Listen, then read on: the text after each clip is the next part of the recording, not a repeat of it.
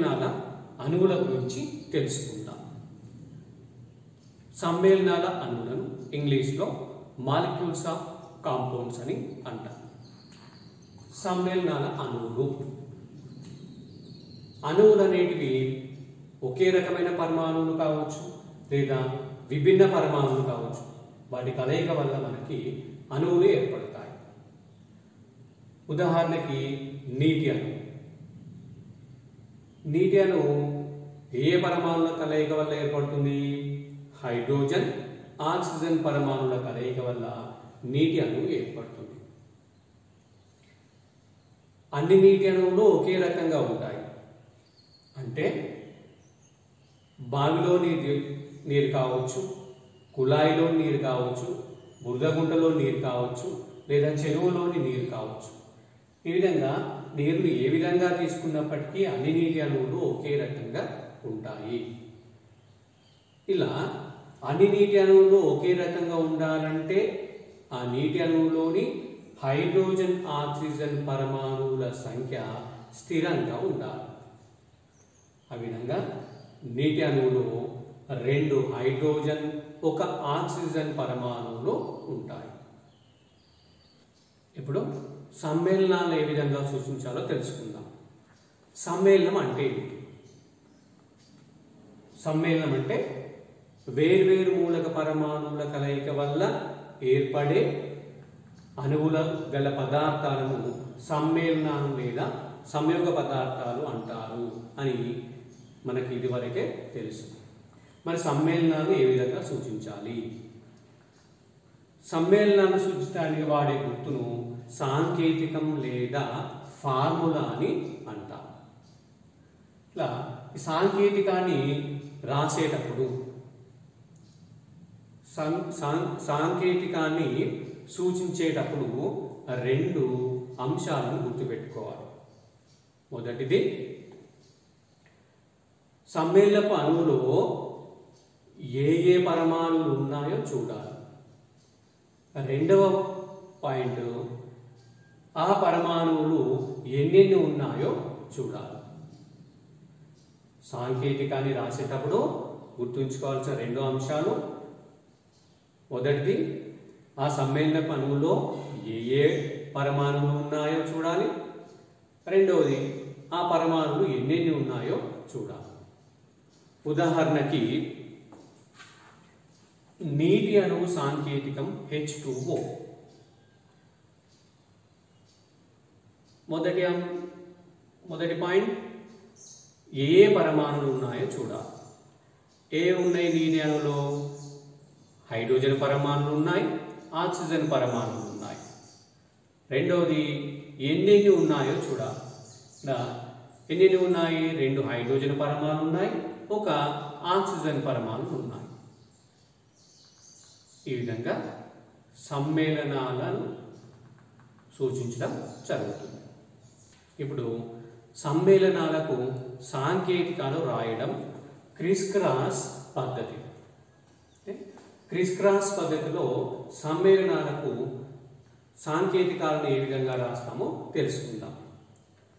సమ్మేళనాలకు సాంకేతికాలు రాయడంలో కొన్ని సోపానాలు మనం పాటించాలి. అందులో మొదటి సోపానము అణువులోని పరమాణువులు కావచ్చు పరమాణుల సమూహం కావచ్చు వాటి సంకేతాలను పక్క పక్కనే రాయాలి. సాధారణంగా ధనాయాన్ అంటే కాటయాన్ మొదటగా రాస్తాము తర్వాత ఆనయాన్ అంటే రుణాయాన్ తర్వాత రాస్తాం. రెండో సోపానం. విధంగా ఫస్ట్ ఈ సంకేతాలను పక్క పక్కన రాసిన తర్వాత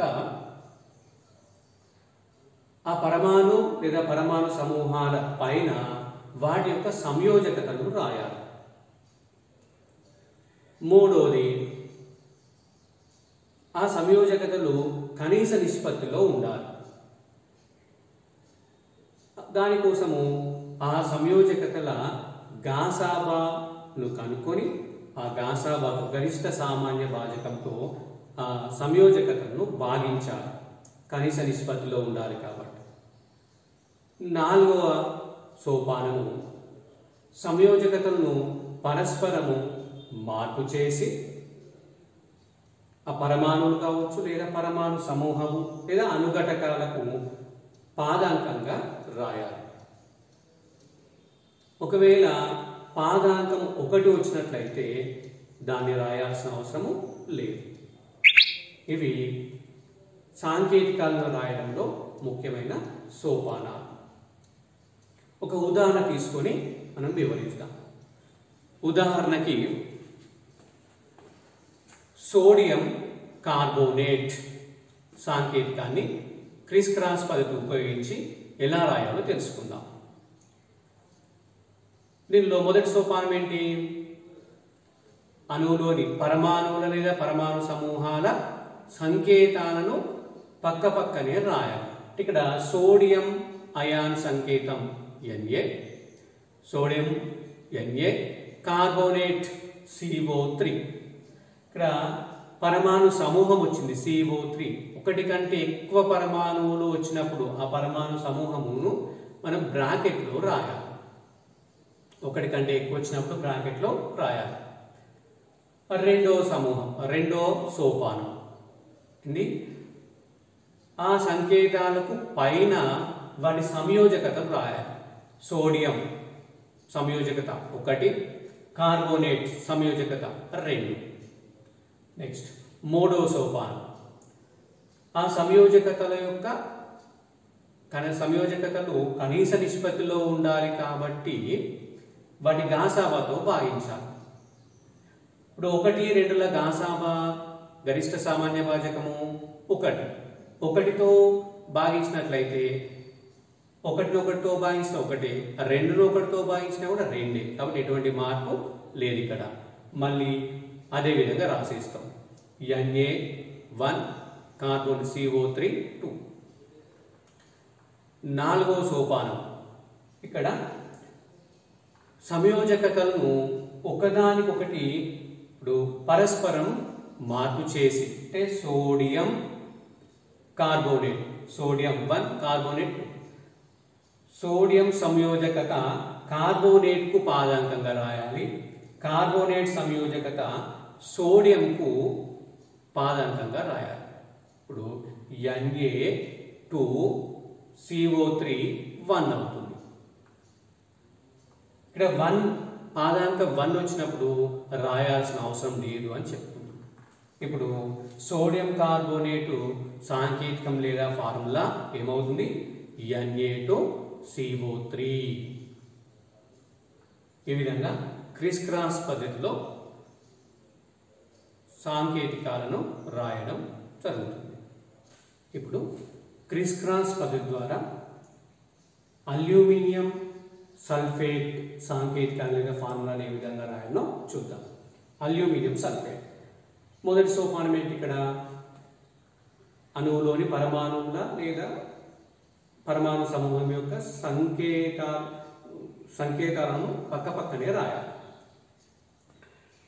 Aluminium AL sulphate SO four అంటే సల్ఫేట్ అనేది పరమాణు సమూహం కాబట్టి ఒకటి కంటే ఎక్కువ పరమాణువులు ఉన్నాయి. దాన్ని పరమాణు సమూహం అంటాం. అప్పుడు దాన్ని బ్రాకెట్లో ఉంచాలి. ఎస్ఓ ఫోర్ బ్రాకెట్లో ఉంచాలి. ఆ రెండో సోపానం వచ్చేసి ఆ సంకేతాల పైన వాటి సంయోజకత రాయాలి. అల్యూమినియం సంయోజకత మూడు సల్ఫేట్ సంయోజకత రెండు. మూడో సోపానము సంయోజకతలను వాటి గాసాబాతో భాగించాలి అల్యూమినియం మూడు సల్ఫేట్ రెండు. మూడు రెండుల గాసాబా ఒకటి అవుతుంది. భాగించినా కూడా మళ్ళీ అవే వస్తాయి. కాబట్టి యాజిటీస్గా రాసేస్తాం. అల్యూమినియం మూడు సల్ఫేట్ రెండు. నాలుగో సోపానము.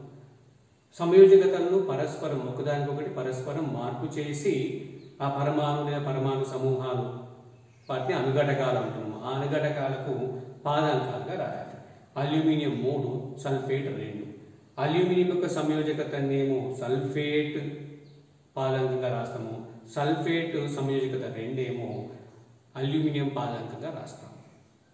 అప్పుడు అల్యూమినియం సల్ఫేట్ ఫార్ములా లేదా సాంకేతికం AL two SO four taken three అంటాం. AL two SO four taken three or thrice అంటాం.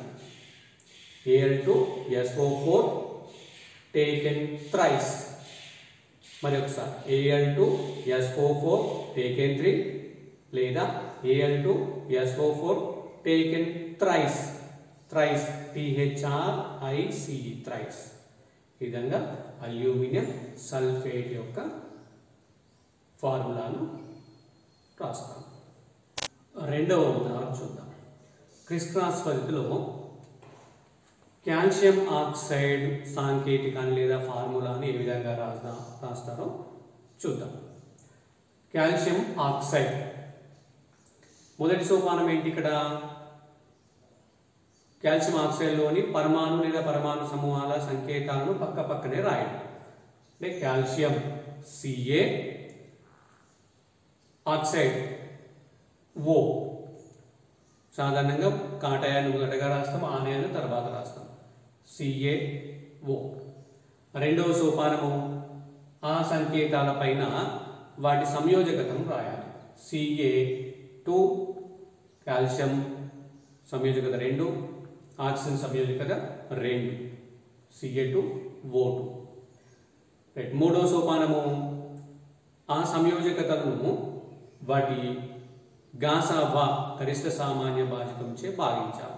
రెండు రెండు. వాటి యొక్క రెండు అవుతుంది. రెండుతో భాగించినట్లయితే సిఏ వన్ అవుతుంది ఓ వన్ అవుతుంది. నాలుగో సోపానము.